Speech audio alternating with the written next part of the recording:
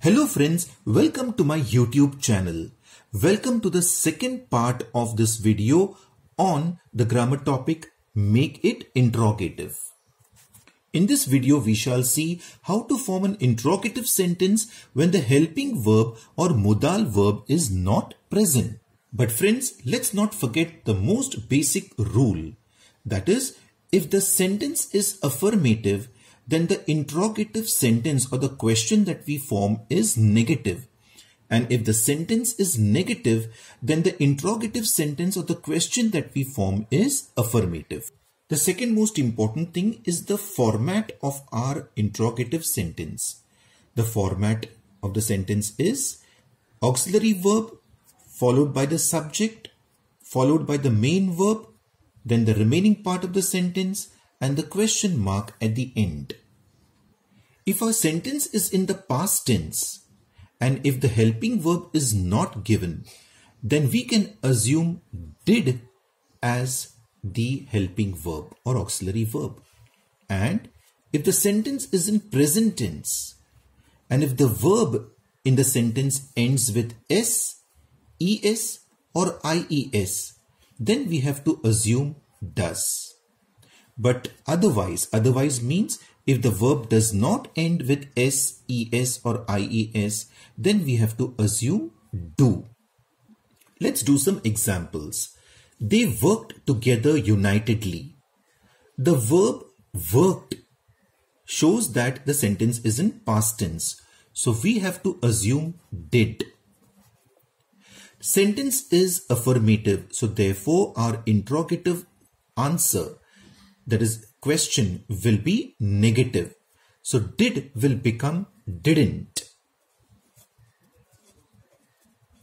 Followed by the subject. The subject here is they. Then we have to write the main verb. Now worked we have already written the past tense of it. So we will have to write the root verb of worked. The root verb of worked is work and then we have to copy the remaining part of the sentence as it is. That is together unitedly followed by a question mark. So therefore our interrogative answer is didn't they work together unitedly? We cleaned the place very quickly. Cleaned is the verb and the verb is in past tense which means the sentence is in past tense. So we will assume did. Sentence is affirmative. So therefore our interrogative answer will be negative. So we will write didn't.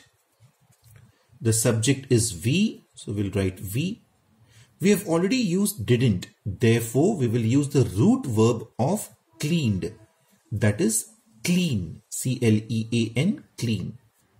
And the remaining part we have to copy the same the place very quickly followed by a question mark at the end.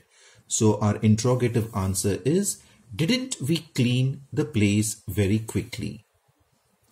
He studies regularly. Studies. The verb studies shows that the sentence is in present tense and the verb is ending with IES. So we have to assume does. Sentence is affirmative, so we will begin with doesn't. Followed by the subject, that is the subject is he. We have already used doesn't, so therefore we'll use the root verb of studies, that is study, S-T-U-D-Y, study. Remaining thing we have to copy the same, that is regularly, followed by a question mark. Doesn't he study regularly? Next. She goes to school daily by bus. The verb goes so shows that the sentence is in present tense and it is ending with es. So we have to assume does as the helping verb. Sentence is affirmative. So therefore our interrogative answer will begin with doesn't. That is it will become negative followed by the verb that is she. We have already used doesn't so therefore we'll use the root verb of goes that is go. And the remaining part we will copy the same. That is to school daily by bus followed by a question mark at the end. Doesn't she go to school daily by bus? We plan for a better future. Plan is the verb over here which means sentence is in present tense and the verb is not ending with s, ies or es. So we have to assume do. Sentence is affirmative. So therefore our interrogative answer will be negative. So we will say don't. Do will become don't followed by the subject that is we. The main verb that is root verb will also be the same that is plan. Remaining part we have to copy the same that is for a better future followed by a question mark at the end. So this is our interrogative answer. Don't we plan for a better future? So friends, this was the second part of the video on make it interrogative. Hope this video is helpful to you. Do like, share and subscribe. Thank you.